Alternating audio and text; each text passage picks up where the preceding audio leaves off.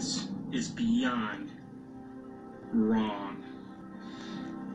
My kids were sitting here eating Cinnamon Toast Crunch, or maybe their favorite, Lucky Charms. Now, I was a contractor for 22 years, and we used to do paint prep, do cleaning, things like that. Uh, and I'm sitting there reading a box, and I noticed that it says it contains trisodium phosphate. This TSP. Let's see.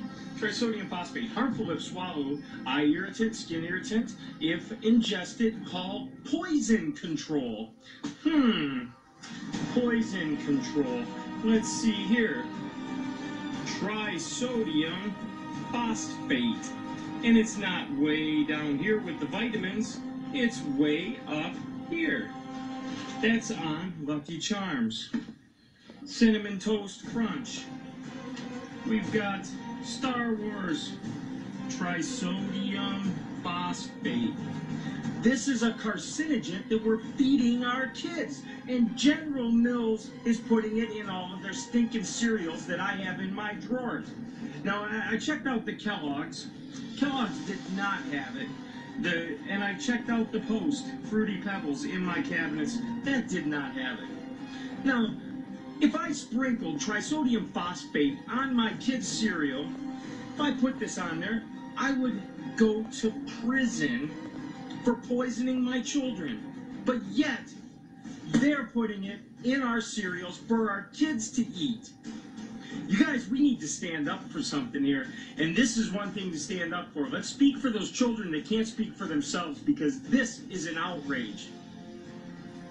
Poison in our kids' cereal. Well, let's verify. First of all, Vanessa, you're definitely not alone. The social media sites are full of people worried about a chemical called trisodium phosphate, better known as TSP, present in their kids' cereal. If I put this on there, I would go to prison for poisoning my children. But yet, they're putting it in our cereals for our kids to eat. All right, so let's take a look at TSP. It's a chemical compound used in a lot of heavy duty cleaning products. And yes, you can find it listed right there on the cereal box.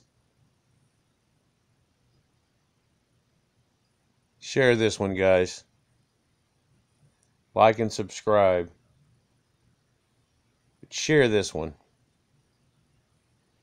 See what we can't figure out about this, because I know this is a caustic chemical compound.